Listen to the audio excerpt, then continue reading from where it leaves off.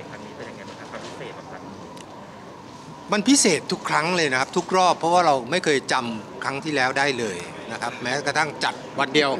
วันเดียวกันสองรอบ รอบบ่ายเล่นไงรอบค่ำเล่นไม่เหมือนไม่เหมือนผมเดิมว่าเพลงอาจจะซ้ำแต่ว่ารับรองว่า จำเหรอ เพลงอาจจะซ้ำอาจจะมีเพลงเดิมก็ก็เฉลียงมีเพลงอยู่แค่นั้นอืม เพลงอย่างเร่งมันต้องซ้ำอืม แต่ว่าสคริปต์บนเวทีน่าน่าจะเปลี่ยนเปลี่ยนเกือบหมดพิเศษพราะว่ามัน หมดอะเหมือนเวลาที่แม่ค้าบอกว่าโอ้สำหรับพี่เนี่ยรถพิเศษเลยอ๋อ พิเศษเท่ากับคนทุกอื่คนเออไม่เหมือนหรอกส่วนใหญ่พวกเราเล่นน่ะไม่ค่อยเหมือนกันไม่ค่อยเหมือนกัน แล้วก็พยายามจะให้เหมือนแต่มันไม่เหมือนนะครับเรามีรอบไหนวันที่9 เก้า10 ครับ9 10ธันวาก็เป็นรอบปกติรีสเตทนะครับรอบวันที่ 11ธันวาเป็นรอบการกุศลกับอ่ามูลนิธิศิริราชนะครับอ่าแต่จริงๆรู้สึกไงบ้างแฟนๆเรียกร้องมาตลอดกับเฉลียงให้กลับมากลับมาตลอดให้รีตลอด ก็ขอบคุณขอบคุณแฟนนะๆทุกคนที่นะคยัรับงคิดถึงกันนะครับนะครับ แต่ว่าในการพวกเราไม่ใช่นักร้องอาชีพที่ร้องเพลงเล่นดนตรีกันตลอดเวลาใช่ดังนั้นการรวมตัวกันครั้งหนึ่งเนี่ยโอ้โหซ้อมกันหนักมาก หนักหนามากนะครับ เป็นเรื่องใหญ่อะของชีวิตเลย แล้วบางคนไม่ได้อยู่กรุงเทพแล้วใช่นะครับบางคนก็ทำงานไปนู่นไปนี่เกียงเนี่ยเกียงเนี่ยเขาเป็น เขาเป็นผู้บริหารบริษัท A49 บ้านซึ่งอ่าผมซึ่งซึ่ง ออกแบบบ้าน เพราะฉะนั้นงานก็จะยุ่งมากครับจุ้ยเนี่ยเป็นนักบรรยายทั่วประเทศ ก็ไม่ค่อยอยู่กรุงเทพนกก็ใช้ชีวิตอยู่ที่บุรีรัมย์นั้นก็เกษตรกรเป็นเกษตรกร เพราะฉะนั้นสามสามคนนี้อย่างน้อยที่สุดเนี่ยวันนี้ก็นะครับสามคนที่เหลืออยู่ในกรุงเทพก็ต่างคนต่างอาชีพ เพราะฉะนั้นจริง ๆ แล้วการรวมตัวกันแต่ละครั้งเนี่ยค่อนข้างจะทำความเอ่อ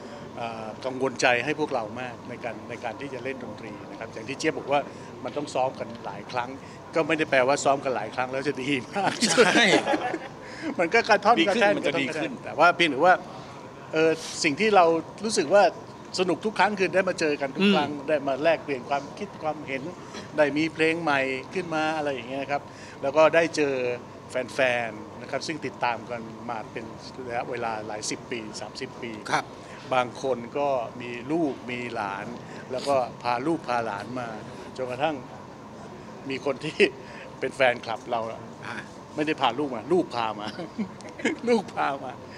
ว่านอะอายุเชิญว่านอะไอ้ไอ้น้องว่านเราอะอ่าอืมเออบอกว่าแม่ผมเป็นแฟนคลับวงพี่บอกว่านเขาเขาโตขึ้นมาเขาก็ต้องว่านพาว่านธนกฤษพาแม่มาดูอืมคอนเสิร์ตเฉลี่ยงอย่างเงี้ยฮะก็ก็เป็นความเป็นความประทับใจพวกเราที่ได้เจอแฟน พี่พี่แต่ละคนเวลาออกมาข้างนอกเนี่ยแฟนๆเรียกร้องจัดอีจัดอีตลอดไหมครับแต่ละคนๆก็จะมีเสียงแบบนั้นแหละ เมื่อไหร่จะจัด เมื่อไหร่จะจัด เมื่อไหร่จะจัด เพราะฉะนั้นก็จะเป็นปรากฏการณ์ที่เวลาเรา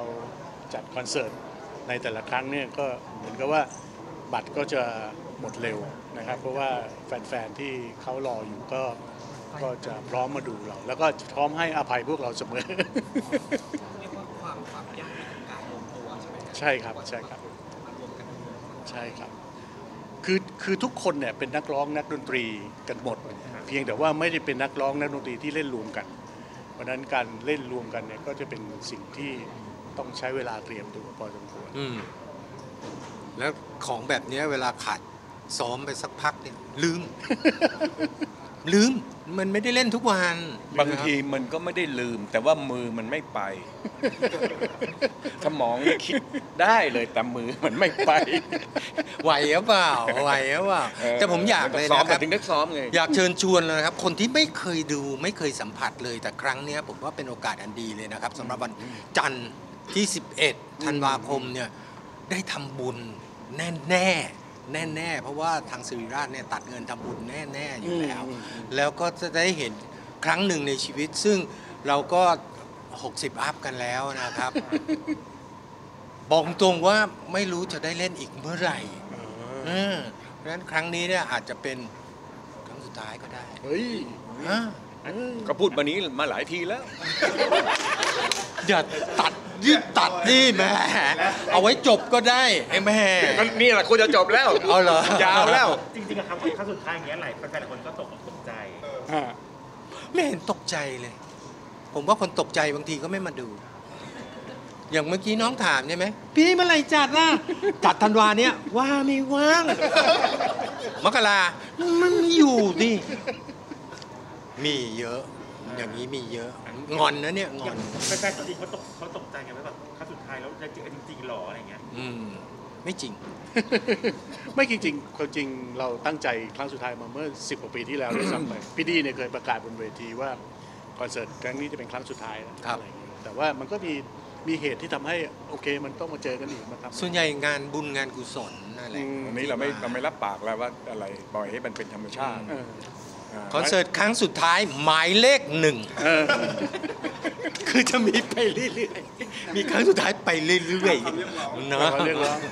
ไหวก็เล่นไม่ไหวก็เลิกเออจริงๆเราอย่าไปยึดมั่นถือมั่นส่วนตัวส่วนตัวคิดว่าไหวว่ายังไหวกันอยู่ไหว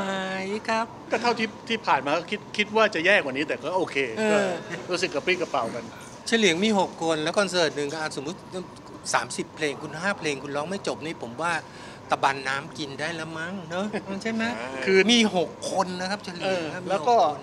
เอาเข้าจริงๆพวกเราก็ไม่ได้เล่นดนตรีกันทั้งหมดนะครับเรามีวงดนตรีที่แบ็คอัพซึ่งเป็นวงที่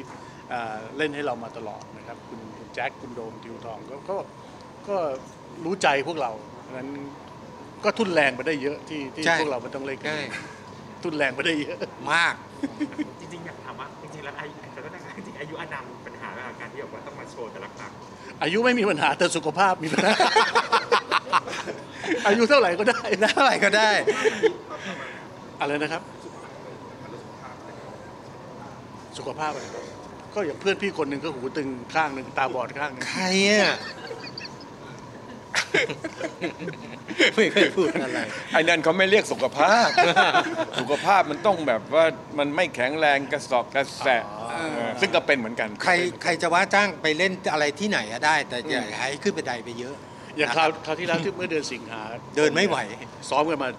แข็งแรงกันมาตลอดเลยพอถึงเวลาเข้าไปในพอในจห้องริงประชุมใหญ่ที่ที่พารากอนเอ่อปรากฏว่า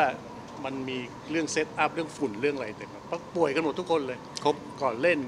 ป่วยหมดเป็นหวัดเสียงหายอะไรอย่างเงี้ยนะครับก็เป็นเป็นเหตุที่มันแบบเราก็ไม่คาดฝัน เราก็ดูแลสุขภาพด้านอื่นดีขนาดคนแข็งแรงนะครับอืมที่วิ่งทุกวันอย่างคุณเกียงนี่เออเป็นนักวิ่งเลยนะ ถือว่าเป็นนักวิ่งได้ถ้วยวิ่งมาเยอะแยะมากมายด้วย ป่วยๆอ่าป่วยไม่มีเสียงเลยแบบแบบแบบแบบอย่างนี้เลย ต้องคือตั้งคือป้ายไว้ที่โต๊ะ ห้ามรบกวนคุยห้ามคุย ห้ามชวนเกียงคุยอะจริงๆเวลาจะจัดคอนเสิร์ตแต่ละครั้งต้องถามสมาชิกในวงก่อนเพราะว่าพร้อมไหมไอ้นั่นยากที่สุดเลย อืมยากที่สุดเลยพร้อมไหมเล่นไหมอ่าเดี๋ยวบางคดูก่อนนะ เออบางคนบอกว่าเอาเล่นสิพี่แต่ผมขอดูก่อนว่าว่าสคริปต์จะเป็นยังไง ถึงจะบอกว่าเล่นไม่เล่น อยากเล่นไหมและขอดูสคริปต์ก่อนเดี๋ยวอีกคนบอกว่าเล่นเล่นได้ถ้าครบคนเพราะฉะนั้นไอ้สองฝั่งเนี้ย ทำให้เกิดขึ้นยากแล้วอืมไอ้นี่ก็ยังไม่ตอบไอ้นั่นก็ยังบอกต้องครบคนก่อนถึงจะเล่น เตือนเตือนน้องๆที่ที่มีวงดนตรีตั้งวงดนตรีนะครับ เอาคนน้อยทำไมครับทำไมครับๆสองคนอะไรมันเงี้ยก็ไม่เกี่ยวหรอกสองคนสองคนมันก็แตกได้แตกเห็นมาเยอะแล้ว เห็นมาเยอะ จริงๆพี่ๆมีแบบคุยกันเลยไหมคะว่าลิมิตของเราจะแบบสักอายุเท่าไหร่นะแล้วแบบไม่มีครับไม่มีครับไม่มีครับ ไม่มีอะมันก็ อืมเหมือนกินข้าวอ่า ถ้าถามว่าเมื่อเมื่อไหร่คุณจะหยุดกินข้าวก็แล้วแต่มื้อหน้านะเดี๋ยวกินก๋วยเตี๋ยวแทนอะไรเงี้ยมันก็มันถามไม่ได้หรอกเรื่องอย่างนี้นะครับ มันเหมือนคุณดี้ประกาศว่าเราเลิก ไม่มีมายืนกันเรียงหกคนแบบนี้อีกแล้วแป๊บเดียวมาแป๊บเดียวโดนเรียกตัวเลยอืมเอาจริง ๆ จะเลิกก็คือ เอาจริง ๆ คือก็ต้องโกอินเตอร์ไปทีละคนน่ะเออปึ้ง เขาเรียกอินเตอร์แล้วฮะอ่าคนนู้นน่ะแหละอย่างนั้นแล้วโอเคแต่นั้นเลิกเลิกสนิทแน่นอน ถามว่าอ๋อ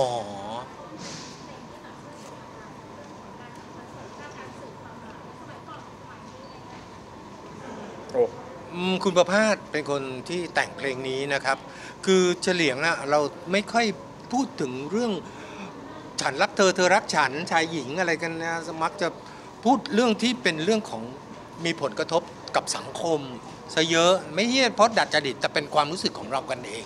ที่เรารู้สึกแบบนั้นแล้วแล้วผมก็ร้องเอาไว้ด้วยความรู้สึกที่ว่า เออ จริง ๆ แล้วเนี่ยผู้ที่พิการทางสายตาเนี่ยเขาอาจจะสัมผัสสิ่งที่คนตาดีๆ อย่างเราสัมผัสไม่ถึงสัมผัสไม่ได้ก็ได้ต้องซึ่งตรงกับที่คุณประภาสเขาคิดเลยว่า ใช่ ไม่ต้องไปสงสารดอกไม้งดงามในโรงเรียนสอนคนตาบอดก็ได้ คนตาบอดก็อาจจะเห็น มันสวยกว่าที่คนตาดีๆอย่างเรามองด้วยซ้ำซึ่งผมเชื่อเลยว่าสิ่งเหล่านี้ ถ้าไม่พิการหัวใจนะ ไม่เรียกว่าพิการหรอกครับอืมอืมทำไมเป็นยังไงพิการหัวใจลิ้นหัวใจคนยาวพิการใจพุทโธคือท้ายแล้วเขาอยากให้เชิญชวนนิดนึงนะ ว่าอาจจะเป็นสุดท้ายก็ได้ครับทำรถทำบุญเอาแล้วเอาแล้วไม่น่าไม่น่าพูดไปเลยนะครับ อย่างที่บอกไปนะครับ restage นะครับคอนเสิร์ตเฉลียง restage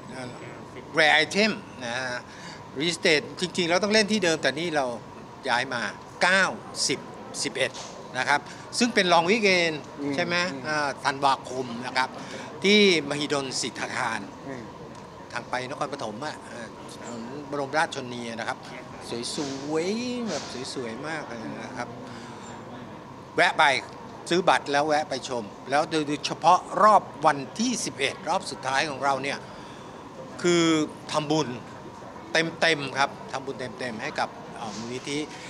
โรงพยาบาลศิริราชนะครับบัตรขายแล้ววันนี้ขายแล้วขายแล้วขายแล้วครับขายไปแล้วนะครับ